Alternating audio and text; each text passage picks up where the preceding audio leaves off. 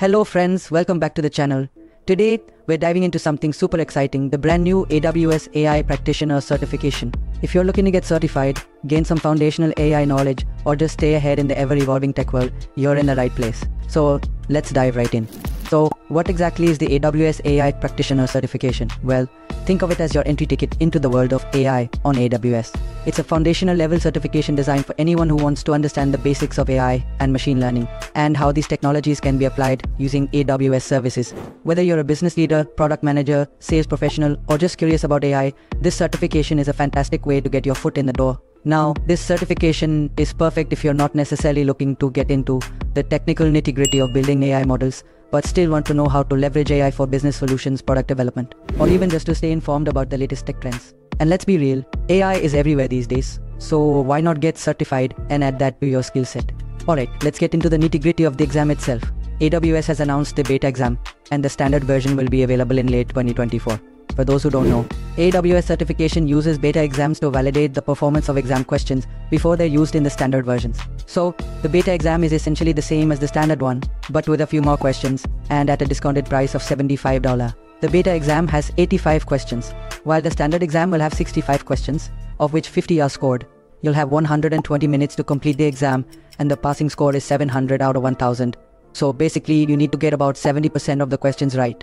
You can check the exam guide on the AWS official certification page for more details, including which AWS services are in scope for the exam. This exam contains multiple choice, multiple response, ordering, matching, and case study types of questions. AWS has introduced three new types of questions. If you have a question about how to order your answers on an AWS certification test, just put your answers in the order the question tells you to. To get the right answer on a matching question, you need to pick 3 to 7 answers that match the questions they ask. It's really important to get each question and answer right so you can get credit.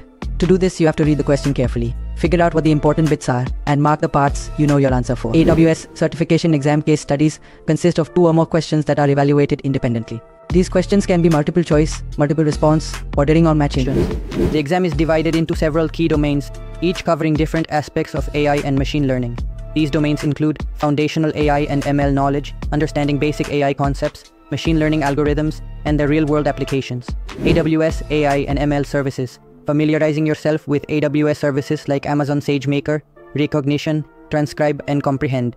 Generative AI fundamentals, learning about generative AI and its potential use cases with AWS services. AI fairness and bias, understanding the ethical considerations of AI and how to ensure responsible AI development. Each domain has a different weight, so it's important to focus on the areas that carry the most points. And by the way, if you're already familiar with AWS Cloud Practitioner, you're in a good spot. This exam expects you to have the basic knowledge of some AWS services. Now that you know what's on the exam, let's talk about how to prepare. First up, start with the basics. If you're new to AI and ML, it's crucial to get a solid grasp of the foundational concepts. You don't need to dive into complex algorithms or neural networks just yet, but you should understand what AI is, the difference between AI and machine learning, and some of the basic types of machine learning like supervised and unsupervised learning. Familiarize yourself with AWS AI and ML services. This is where the bulk of your study time should go. Services like Amazon SageMaker, Bedrock, Rekognition, and Comprehend are essential to understand, not just in theory, but in how they're used in real-world applications. AWS has fantastic documentation and white papers on these services, so take advantage of those resources.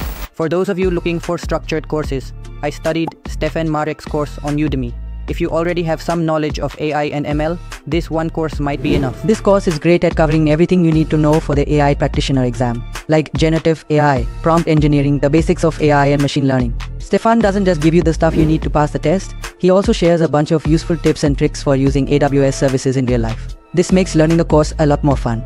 He makes sure his courses stay up to date. The course also has a practice exam, which turned out to be super helpful. Once you're done with this course, take practice exams available on Udemy I took Stephane Maarek's mock tests. AWS also offers a set of 20 official practice questions on the Skill Builder website for free, so make sure to check those out as well. The more you practice, the more familiar you become with the types of questions you face. Aim to score at least 85% on these practice tests before scheduling your exam. And before scheduling the exam, enable the ESL 30 option if English isn't your first language. This will give you an extra 30 minutes to complete the exam. Remember, this certification is not just about passing a test, it's about gaining valuable knowledge that you can apply in your career and beyond. AI is the future, and by getting certified, you're positioning yourself to be at the forefront of this exciting field. I hope this video has been helpful. If you have any questions or need more tips, drop them in the comments below. And if you're new here, don't forget to subscribe and hit that notification bell so you never miss an update on the latest in tech and certifications. Thanks for watching and good luck with your AWS AI practitioner journey.